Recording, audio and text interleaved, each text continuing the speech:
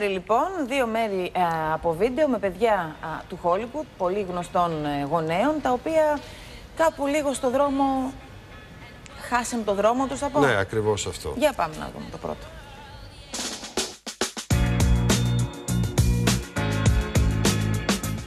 Οι δαίμονες των παιδιών τους καταδιώκουν και τους ίδιους, μαζί με αυτούς και οι τύψεις για το πόσο καλοί γονείς στάθηκαν δίπλα τους. Ήταν εκεί στα δύσκολα. Οι επαγγελματικές υποχρεώσεις τους στο λαμπερό κόσμο του θεάματος τους κρατούσαν πολλές ώρες στο πλατό των γυρισμάτων. Δεν είναι λίγοι οι στάρ που είδαν τα παιδιά τους να βουλιάζουν στον κόσμο των ψευδεστήσεων με αλκοόλ και ναρκωτικά ή ακόμη και να βάζουν το χέρι τους στη σκανδάλη και να πυροβολούν. Ο Κριστιαν Μπράντο, το μεγαλύτερο από τα 11 παιδιά του Μάρλον Μπράντο, σκότωσε το 1990 τον Ντάγκ Ντρόλετ, εραστή της ετεροθαλούς αδελφής του Τσαγέν. Είδηση που βρισκόταν στα πρωτοσέλιδα των εφημερίδων για 9 ολόκληρους μήνες. Καταδικάστηκε σε 10 χρόνια φυλάκιση, δηλώνοντας ένοχος, έμεινε όμως στη φυλακή 6. Το 1995 η Τσαγέν αυτοκτόνησε. Το 2005 ο Κριστιαν ομολόγησε ότι κακοποιούσε τη σύζυγό του και υποχρεώθηκε σε αποτοξίνωση και τέλος πέθανε τον Ιανουάριο του 2008 σε ηλικία 49 ετών από πνευμονία. Η εξάρτηση από ναρκωτικές ουσίες μοιάζει μια λερναία ύδρα για την οικογένεια Ντάγκλα, σαν να μην ξέρεις από πού να πρωτοφυλαχτείς. Ο Μάικλ Ντάγκλα είχε στο παρελθόν πρόβλημα με το αλκοόλ και νοσηλεύτηκε σε κλινική αποτοξίνωσης. Ο αδελφός του, ο Έρικ Ντάγκλα, είχε παρόμοια προβλήματα και άφησε την τελευταία του πνοή σε ηλικία 46 ετών στο διαμέρισμά του στη Νέα Υόρκη τον Ιούλιο του 2004. Αιτία θανάτου, ταυτόχρονη κατανάλωση αλκοόλ, ρεμιστικών και παυσίπονων χαπιών. Και από την κατάρα δεν μπόρεσε να ξεφύγει ο μοναχογιός του Μάικλ Ντάγκλας. Ο 30χρονο Κάμερον έχει ήδη συλληφθεί για κατοχή ναρκωτικών το 2007 και έχει αρκετά χαρτιά εισόδου και εξόδου από κλινικές αποτοξίνωση. Ο μπαμπάς πάντως δεν δίστασε να χρεώσει την εξάρτηση του γιού του από τα ναρκωτικά στα γονίδια και την οικογένεια. Πηγαίνοντας το χρόνο πίσω στις 4 Απρίλη του 1958, η Σέριλ Κρέιν, κόρη της Λάνα Τάρνερ, στα 14 της χρόνια, μαχαίρωσε θανάσιμα τον εραστή της μητέρας της, Τζόνι Στομπανάτο, που ήταν πρωτοπαλίκαρο του γκάγκστερ Μικί Κοέν. Το δικαστήριο αποφάνθηκε ότι η μικρή προστάτεψε τη μητέρα της, αφού σε ένα καυγά των δύο εραστών, στον Πανάτο απείλησε την ηθοποιό ότι θα της κόψει το πρόσωπο. Η Σέριλ Κρέιν πήγε στον αμορφωτήριο, αλλά δραπέτευσε δύο χρόνια αργότερα. Κάποια στιγμή, μάλιστα, πιάστηκε με ποσότητα ναρκωτικών, από τα οποία πάλευε να απεξαρτηθεί επί χρόνια. Και ο Πολ Νιούμαν δέχτηκε ένα μεγάλο πλήγμα από τη μοίρα. Από τον πρώτο του γάμο με την Τζάκι Βίτε απέκτησε έναν γιο και δύο κόρες. Δυστυχώς ο γιος του Σκοτ έφυγε από τη ζωή το 1978 σε ηλικία μόλις 28 ετών από υπερβολική δόση αλκοόλ και ναρκωτικών. Ο Πολ Νιούμαν ίδρυσε στη μνήμη του ένα κέντρο πρόληψης και ενημέρωσης για τους κινδύνους των ναρκωτικών.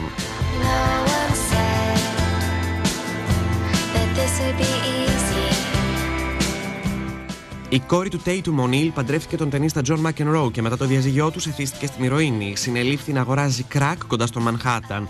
Σε σωματικό έλεγχο βρέθηκε γεμάτη με ναρκωτικές ουσίες και τελικά ακολούθησε πρόγραμμα απεξάρτησης. Ο αδελφός της Γκρίφιν Ονίλ από την άλλη θεωρήθηκε υπεύθυνος για το θάνατο του γιού του σκηνοθέτη Francis Ford Coppola, Τζιαν Κάρλο, σε ατύχημα με σκάφος το 1986. Ο Γκρίφιν ήταν αυτός που οδηγούσε το σκάφος υπό την επήρεια ναρκωτικών. Τελικά βρέθηκε ένοχος για ανθρωποκτονία εξ αμελείας, καταδικάστηκε σε 200 δολάρια πρόστιμο, 400 ώρες κοινωνικής εργασίας και 18 μήνες σε αστυνομική επιτήρηση. Όσο για το γιο που απέκτησε ο Ράιν Ονίλ με τη Φάρα Φόσετ, τον Redmond, και αυτός δεν ξέφυγε από την κατάρα των ναρκωτικών. Βρίσκεται σε κέντρο αποτοξίνωσης ακόμη, τη στιγμή που η μητέρα του πέθανε, πήρε άδεια για να μπορέσει να τα αποχαιρετήσει, ενώ η ηθοποιός του άφησε όλη της την περιουσία με τον όρο να έχει αποτοξινωθεί για να την αποκτήσει.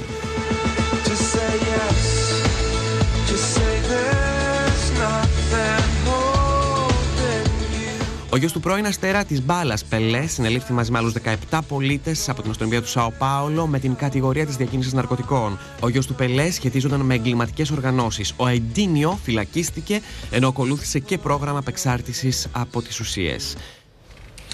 Υπάρχουν όμως και αντίθετα παραδείγματα όπως η Drew Barrymore που είναι κόρη και εγγονή διάσημων ηθοποιών του Hollywood ήταν χάλια μέχρι τα 13 της και είναι ένα αξιόλογο μέλος της κοινότητας. Νομίζω μετά τον Ιτή.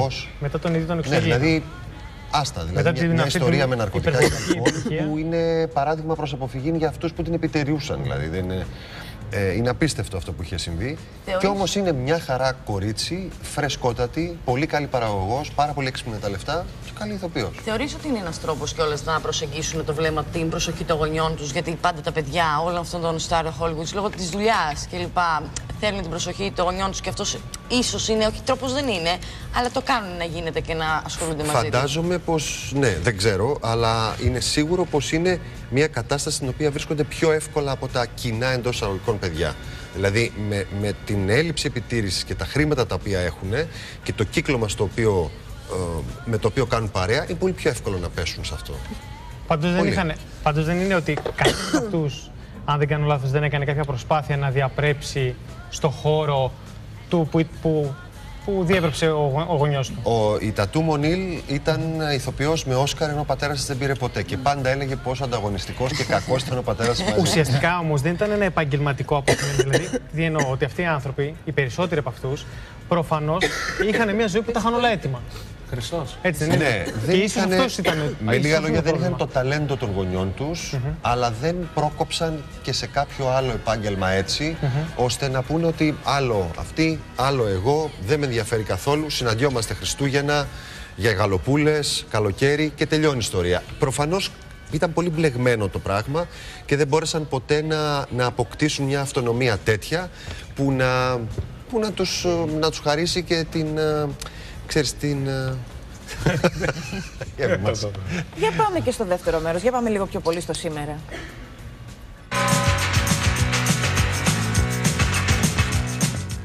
Είναι παιδιά διασύμων, έχουν ό,τι θέλουν, αποτελούν πρόσωπα θαυμασμού, όμως εκεί να ζουν ζωηρά τη ζωή τους, κερδίζοντας με την αξία τους τον τίτλο Τα μαύρα πρόβατα της οικογένειας.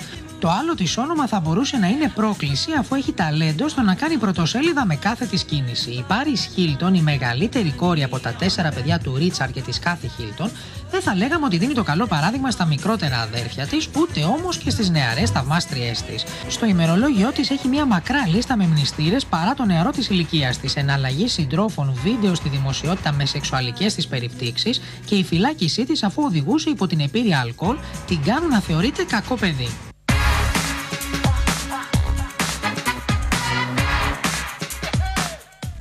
Η Νικόλ Ρίτσι, φίλη της Πάρη Χίλτον, είναι ένα ακόμα πλουσιό κόριτσο που όταν βαριέται, κάτι που συμβαίνει συχνά, δημιουργεί μπελάδε. Συμπεριφορά όμως που είναι αποτέλεσμα των θετών γονιών της, αφού μετά το διαζύγιο τους δεν σταμάτησαν να ικανοποιούν και την πιο τρελή επιθυμία της Νικόλ για να καλύψουν έτσι τις δικές τους τύψεις. Κακομαθημένο κορίτσι με ανάρμοστο λεξιλόγιο και πολλά προβλήματα με τον νόμο.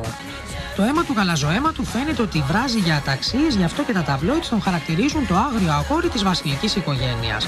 Ο νεαρός πρίγκιπα Χάρη ζει την κάθε του στιγμή με ένταση, χωρίς να σκέφτεται το πρωτόκολλο και τους βασιλικούς περιορισμούς της γιαγιάς του. Ποτά, ξενύχτια, πάρτι και πολλές γυναίκες είναι τα αγαπημένα του χόμπι, στα οποία αφήνεται χωρίς να προσπαθεί ιδιαίτερα να τα κρύψει από τους παπαράτσι. Ο μπαμπάς Κάρολος και η γιαγιά του τραβάνε το αυτή, αλλά αυτός δεν ακούει κανέναν.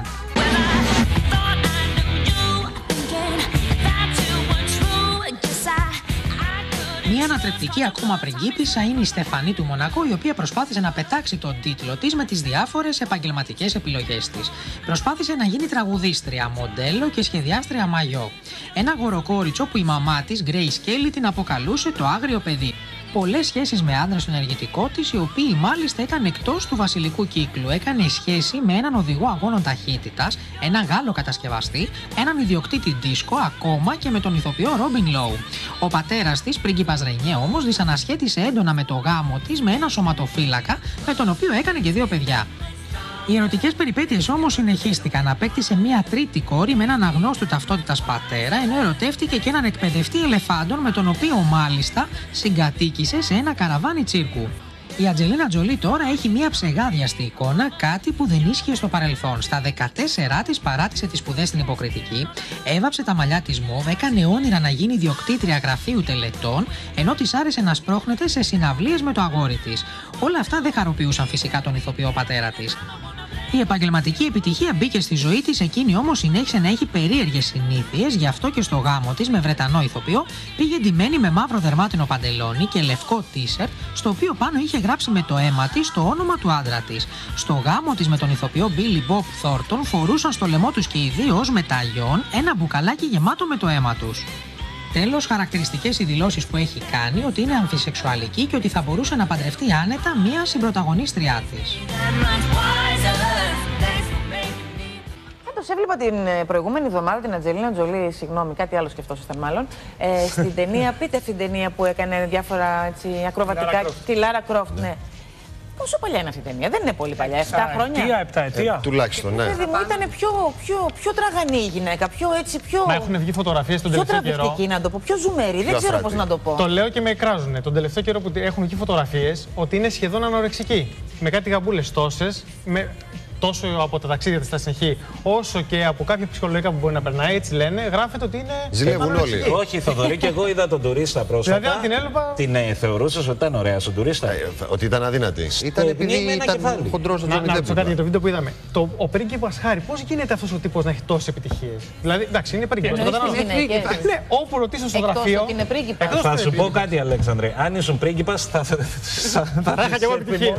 Ευχαριστώ. Όλες οι κοπέλες που δεν σε θυμούνται τώρα. Έλει τώρα στο στόμα σου πάλι. Λοιπόν, Δεν είναι ωραίος Ξύπνησε κοκκινομάλι, λίγο, δεν άρεσε. είναι αυτή η αγγλουριά, αλλά από την ωραία πλευρά. Έχει μια Εγώ ξέρω γοητεία ότι περίεργη. έχει πιο μεγάλο fan club από ό,τι ακούω από τις γυναίκες σε σχέση με το μεγάλο του αδερφό. Εντάξει, ο Ότι μεγάλος είναι πιο προσιτός, πιο Μα ο κανονικός, μεγάλος πιο- φρόντισε και παντρεύτηκε έξω. ε. όχι τώρα παιδιά, γιατί, παντρεύτηκε ο άνθρωπος, παιδί γιατί μου. οι γυναίκες θέλουν τα κακά παιδιά. Γι' αυτό είναι Γι' αυτό, κακό παιδί, ακριβώς. γι' αυτό θέλουν οι Από γυναίκες. εκεί βγαίνει όλο το βίντεο. Είναι ότι το να είσαι άτακτη ή αλήτης είναι πιο cool γενικά. Άμα σου χάσεις πω, το όριο, θα σου πω, είναι θα σου αυτό πω. το βίντεο που είδαμε. Χωρίς να έχω ίχνος ρατσιστικής διάθεσης. Όταν είσαι φτωχός, δεν, εννοώ, δεν έχεις πολλά λεφτά, είσαι αλκοολικός, είσαι έτσι καταστρεμμένος.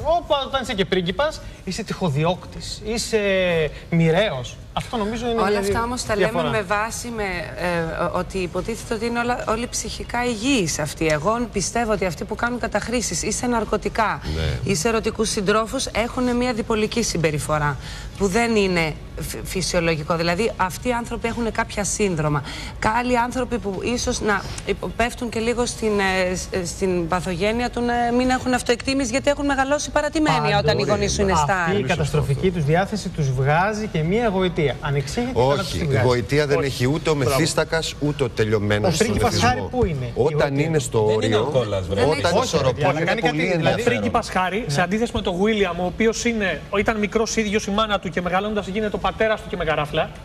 Ο οποίος δεν βλέπετε δηλαδή όσο μεγαλώνει. Και με Τι να κάνει. καράφλα. Και ο πατέρας του έχει καράφλα. Ε, βλέπετε. Ε, μα είπες ο πατέρας του και με καράφλα. Ναι, Ο που πατέρας του από έχει μικρός καράφλα. ο πατέρας του δεν είχε μαλλιά μικρός. Θα μου υποστηρίξεις το χάρη το Ο Χάρη εμένα παλιά. πάντα μου άρεσε. Γιατί ήταν ωραίος τύπος. Δηλαδή, Μα σαν τη επειδή χάρη την έχει δύο κόκκινα μάγουλα, έτσι είναι δηλαδή ο τύπος. σε αντίθεση με τον μεγάλο του αδερφό, δεν είχε ποτέ το θέμα του να δείξει καλό παιδί, του να κάνει πράγματα όμορφα, του να κάνει φιλανθρωπία. Κάτι τέτοιο στο καλοκαιράκι στη Ρόδο τους έχουμε για να όταν Αλέξανδρε πηγαίνουμε είναι στα πιο μπαράκια. πικάντικος και πιο διαφορετικό. Ναι, γι' αυτό. Θέλω να δεις κάτι χαριτωμένος. πικάντικο. Από τον Derby ΑΕΚ Ολυμπιακός δεν υπάρχει αυτό. Πρέπει να το παίζουν σε όλη την Ευρώπη. Το είδαμε. Δεν το δες; Όχι. Ε, ξεβράκωσαν ένα ποδοσφαιριστή της ΑΕΚ, Ελένη. Έμεινε με το βρακάκι του Αυτό μόνο. είναι. Αυτό είναι. Τώρα, προχτές. Ντροπήσουν αυτό που λες. Α, παπά. Ναι, Ελένη. Α, φορούσε μεγάλο σορτσάκι ρε εσύ. Όχι, Είσαι όχι, και όχι. Πώ το άνοιξε, Κοίτα, μέχρι λέει. απέναντι πήγε. Πήγε Του είχαν να- δώσει λάθος νούμερο. Το πιάσε και έμεινε με το βρακάκι του. Ο καλά. Ο, ο κόκκινος είναι Ολυμπιακός. Ναι, και και πού από- το έβγαλε; Ε, το- το- Πιάστηκε για να σηκωθεί. Πήγε να πιαστεί από κάπου. Πιάστηκε για να σηκωθεί. Ξέρεις τι γίνεται, Ελένη, με αυτά τα σορτσάκια. Έχουν ένα σχοινάκι να τα δένεις και δεν το Μα είχε να σου πω κάτι, τουλάχιστον άνθρωπος φορούσε σοβρακάκι από μέσα. Για σκέψου να μην φόραγε. Και οι, περι- και οι περισσότεροι δεν φοράνε. Επειδή Γιατί; έχει πασουάρ το σορτσάκι και κρατάει αυτά που πρέπει να κρατάει, δεν φοράνε. Και το σόβρακο τον βοήθησε Εγώ, κατά εγώ κάποιο. αναρωτιέμαι οι εγώ γελάω μαζί κερκίδες του. πόσο γρήγορα αντιδρούν με σύνθημα σε ένα τέτοιο περιστατικό. Α, ήτανε- Γιατί είναι πάρα πολύ ε, ευρηματικές οι κερκίδες Με τον και Τζιρίλο, συνθήματα με τον λένε. Τζιρίλο οι αεξίδες είχαν βγάλει ένα ωραίο σύνθημα που του είχε ανέβει το σορτσάκι μέχρι εδώ πάνω. Για την Και ιστορία του είχαν- πάντω τιμωρήθηκε με κίτρινη κάρτα ο Ποιος; παίκτη του Ολυμπιακού. Γιατί... Όχι, αποβλήθηκε.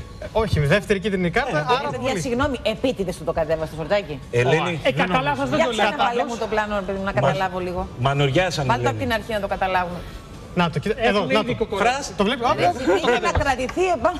Γελάει και εγώ αυτό Πήγε είδα. να κρατηθεί και του κατέβασε το σορτσάκι. Όχι, όχι, το και ο άλλος φωνάζει. πάει Το να λίγο φωνάζει. Είδα τώρα που πήγε να του βγάλει το σορτσάκι. Να το, Ότι να. δηλαδή τι; Όχι, πήγε να του ρίξει μια ύπουλη. Είναι μια περίεργη φάση ενός Γάλλου με έναν Ισπανό, Ελένη. Ελένη, δεν κρατιέσαι από το σορτσάκι του διπλανού σου. Ποτέ. Πας Μπο- να μπορεί κρατηθείς όμως να έτσι τύχει. Και δεν ξέρεις πού να μπορεί να κρατιόταν στην πλούζα. Κοίταξε, έτσι όπως πήγε να, ξε- να κρατηθεί, γύρισε ο άλλος στην πλάτη και προδόθηκε. Ούτε εγώ διακρίνω δόλο. Προδομένος φαίνεται, προδομένος. Πάντως ο Αεξή Δεν- δυνατό παλικάρι, θα το πω αυτό. Πρικισμένο. Για να το λες, Γρηγόρη μου, θα Εμένα έχεις- μου άρεσε που το αντιμετώπισε με χιούμορ και γέλασε. Ε, τι να κάνεις, Εσύ λέει. θα γέλαγες. Τι να κάνω. Άμα πήγαινε κάποιος να στηριχτεί επάνω σου και στο κατέβαζε το, το σορτσάκι. Ε, θα γέλαγε και έχει και 30.000 κόσμο, δεν το δίνανε λίγοι. Και τόσο Πάντως, πα- Το πιο αστείο που έχει συμβαίνει με τα σλιπάκια στα ελληνικά γήπεδα είναι που πάνε να πάρουν τις φανέλες και τους παίρνουν τα σορτσάκια, τις κάλτσες, τα παπούτσια ε, και μένουν ε, τα, οι άνθρωποι, οι ficaram ligados. Το- Εντελώς. πάντως το πιο αστείο Ο στιγμιότυπο Ντέταρ ήταν ο πρώτος που είχε μείνει. Με το Το Βαλτεράμα. ξέρω αυτό το όνομα. Ποιες εποχές ήταν αυτό. Ο Ντέταρης στον Το Ολυμπιακό. Σκοτά. Τον, έφ- τον έφερε ο Κοσκοτά. Έτσι προδίδονται ηλικίες. Ελένη τον έφερε ο Κοσκοτάς ο Ντέταρη τότε. Εγώ το θυμάμαι αυτό το όνομα πολύ έντονα στα Είχε αυτιά μου. γεμίσει ο Πειραιάς, είχε κατέβει όλο ο Πάντως το στιγμιότυπο, το top, εσύ που ασχολείσαι με τα αθλητικά, το θυμάσαι. Το Βαλτεράμα, το Κολομβιανό, τον Με θυμάσαι το με το μαλλί, μαλλί αφ- αφάνα. το άφρο ήταν γύρω στο. Τι του το βγάλανε; Όχι, σε ένα κόρνερ έπαιζε με την εθνική. Ε, θόπευε τα, το αντιπάλου. Το κάνουν. Τον ε, χάιδευε, τέλο Τον πάντων. θόπευε, ναι, Τον σε δαχτύλιζε. κόρνερ. Δεν τζαντίστηκε ο Είναι αντίπαλος. μέρος της άμυνας. Ναι, το Μίτσελ έναν Ισπανό πάλι. και τρελάθηκε ο αντίπαλος και του λέει: Ρε, εσύ δεν χαϊδεύεις καλά εκεί που χαϊδεύεις. Επ, επ, επ, επ, δεν θέλω τέτοια Ναι. Αυτό στα μεσημεριάτικα. κόρνερ γίνεται. Γιατί προσπαθείς να κρατήσεις τον στα καλύτερα επιθετικό. σπίτια. Βρήκε λάθος μέρος να τον κρατήσει. Και Υπάρχουν στην Αγγλία, υπάρχει και ένα άγαλμα που είναι ε, ο, ο Γκασκόιν που του πιάνουν ό,τι δεν πρέπει να του πιάσουν και το έχουν κάνει άγαλμα στην Αγγλία αυτό. Η πιο Στην σκληρή Αγγλία. φάση. Στην Αγγλία. Δηλαδή τι, αυτό που έκανε ο ένας τον άλλον το κάνανε άγαλμα; Άγαλμα. Γιατί Ε, δεν ναι, λένε στην ότι οι Αγγλία Άγγλοι είναι για την- τέτοια. Θα σε κάνω άγαλμα που λέμε. Λοιπόν, πρέπει να πάω σε διαφημίσεις. Βάλε μας ένα τίτλο στο θέμα που ακολουθεί, που είναι δικό σου και αφορά δύο πολύ όμορφες και πολύ γνωστές πρωταγωνίστριες του κινηματογράφου, της τηλεόρασης. Δυο το θέατρο. συνομήλικα σχεδόν κορίτσια, παράλληλες πορείες, δύο πολύ σεξι ε, γυναίκες που δεν τις είχαμε σκεφτεί, τις βάζουμε συνήθως τη μία απέναντι στην άλλη, χωρίς να το έχουμε κάνει συνείδητα. Αλλά πάντα Ζέτα τις Μακρυπούλια, βλέπουμε μαζί. Κατερίνα Παπουτσάκη. Μετά τις διαφημίσεις.